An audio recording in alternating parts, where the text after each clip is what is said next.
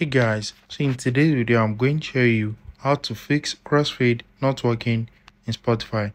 So if the crossfade feature is not working in your Spotify, let me show you few different things you can do to fix it.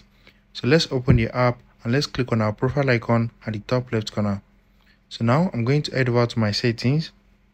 So right there, let's click on playback. So now under playback, we are going to see crossfade.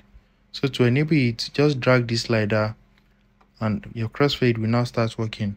So if you have enabled it already, but it's still not working, let me show you different things you can do. So the first thing is go back to your main settings and click on data saving and offline. Once you click on it, scroll down to the bottom and you need to clear your app cache. So just click on clear and click on clear. So this can fix the issue of your crossfade not working. So can now play song and see if it is going to fade into the next song. If it's still not working, the second thing you can do is head over to your settings, scroll down to general, click on iPhone storage and look for Spotify right there. So once you have seen Spotify, so let me just search for it at the top. Once you have seen Spotify, click on it and you need to offload the application. Once you offload it, you are going to reinstall right here.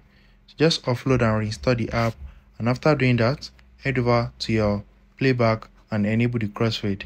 Once you enable it, now see if it is going to work.